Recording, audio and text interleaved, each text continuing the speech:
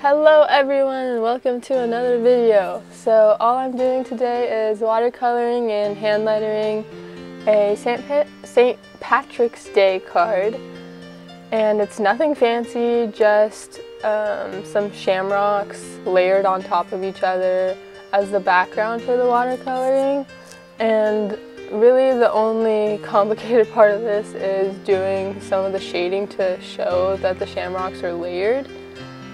And yeah, that's about it.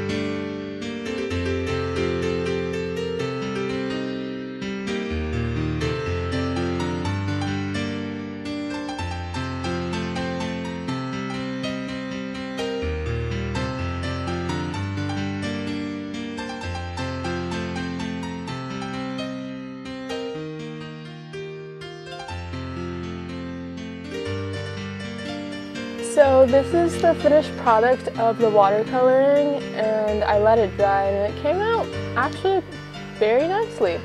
Now all I'm doing is just writing out my quote and you'll see in the finished product that I just went over it in black marker. So please like and subscribe for more videos like this. Thank you. We were staying in Paris to get away from your parents. And I thought, wow, if I could take this in a shot right now I don't think that we could work this out. Out on the terrace. I don't know if it's fair, but